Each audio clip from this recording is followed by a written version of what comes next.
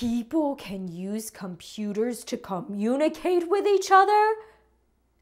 Okay, these days that seems like such an obvious observation that it doesn't really need saying. But not too long ago, that same statement was an astounding revelation that left everyone around the world expecting flying cars and light speed space travel to be right around the corner.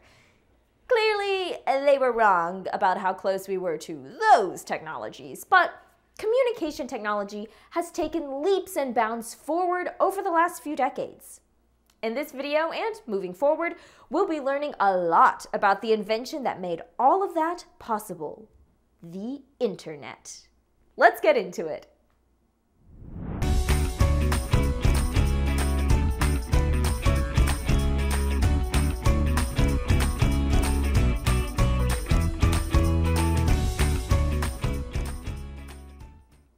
For you, it may feel like the internet has always been around, but the truth is that most people alive today are older than the internet. Anybody born before, like, 1990 probably remembers a world in which the internet didn't exist. It's actually kind of amazing how quickly we went from no internet to all the internet on every device, everywhere, all the time. There are even smart refrigerators that connect to the internet. I personally don't see a need for that, but that's a topic for another day. The origins of the internet trace back to the 1960s during the Cold War, a time when the United States and the Soviet Union were on constant standby for a nuclear war to begin. At this time, computers were bulky, immobile, and completely disconnected from each other. If you wanted to use data from one computer on another, you had to copy it to an external storage device and either mail it there or take a road trip there yourself. This would be kind of dangerous for everyone involved if a nuclear war began. So, the United States government needed a way to transmit data between computers remotely. The answer? Connect to the computers using phone lines. So, the Advanced Research Projects Agency, part of the United States Department of Defense, funded the development of ARPANET, a network of research institution computers connected through phone lines. It started out as just four such institutions networked together, and in 1969, the first message was sent from a computer at University of California, Los Angeles, to another computer at the Stanford Research Institute. Actually, the first transmission failed. They tried to send the word login, but only the LO managed to make it through before the entire system crashed. They got the system back up, figured out what went wrong, and then after that, Transmissions worked flawlessly. Success meant learning from the initial failure. By 1973, ARPANET stretched all across the United States, connecting computers at research facilities from coast to coast. The next logical step was to expand the network across the ocean.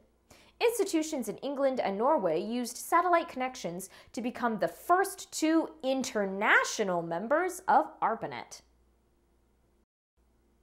Other networks started to pop up too, but all the networks were incompatible with each other. It was like they all spoke different languages, so communication between networks was nearly impossible. To solve this, a standard language was created that all networks could use. This was the Transmission Control Protocol and Internet Protocol, which is a little long, so we usually call it TCP IP.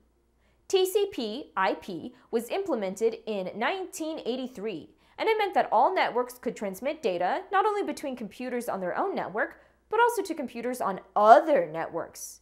This created an interconnected network of networks, or Internet for short. And it's for this reason that January 1st, 1983 is considered the Internet's birthday! Happy birthday, Internet! Part of what TCP IP did was assign IP addresses to each computer so users could identify which computer on the network they wanted to connect to, similar to phone numbers. But you'd have to remember different IP addresses for everything you want to do on the internet. And I don't even think I could memorize one IP address, much less multiple. Oof. So the Domain Name System, or DNS, was invented. The DNS is essentially a worldwide list of contacts in computer form. When you want your computer to connect to a website, like miacademy.co, your computer doesn't actually know where that computer is, so it asks DNS. The DNS server looks up our website and sends our server's IP address back to your computer, and then your computer connects to the IP address that it was given. Now that all the major components of the internet are in place, things are about to really speed up. Hang on! At this point, ARPANET had more than accomplished its goal of creating a network of computers. In 1986, ARPANET shut down, and the National Science Foundation Network, or NSF-Net for short, took over as the backbone of the internet. But the internet was mainly just used to send emails. It looked nothing like the internet of today. Not until 1990, when Tim Berners-Lee created web browsers, web pages, hyperlinks between web pages. Basically, he created all the pieces that make up the World Wide Web that you know today.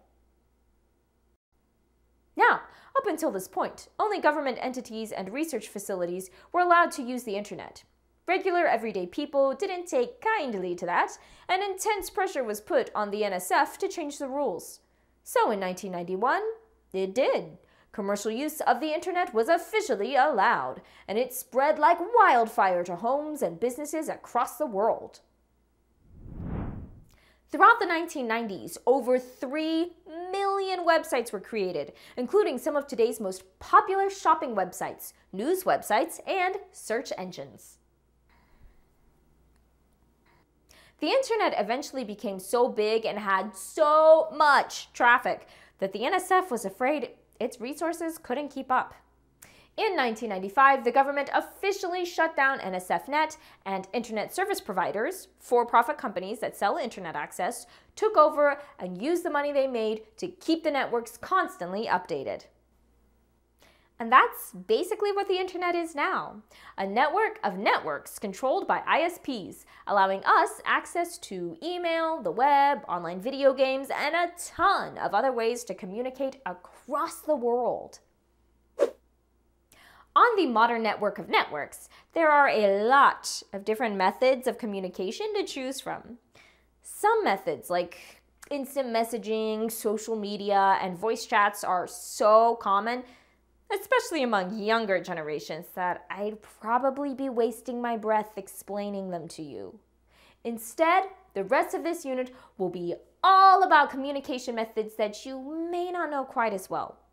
Web browsers, the programs that you use to surf the web. Email, which you'll need if you want to do much of anything on the internet these days. This will be split into two parts how to use email programs followed by the unspoken rules of how to write an email, known as email etiquette. And finally, video conferencing software, so you can meet face to face with anybody in the world. By the end of this unit, you'll have the skills to communicate in multiple different ways with people all around the globe. Thanks to the network of computers that we call the internet, your world is about to expand wider than you ever thought possible. Until next time, remember, your brain is the smartest computer you'll ever have. So keep it charged and never stop updating it. Hey, hey.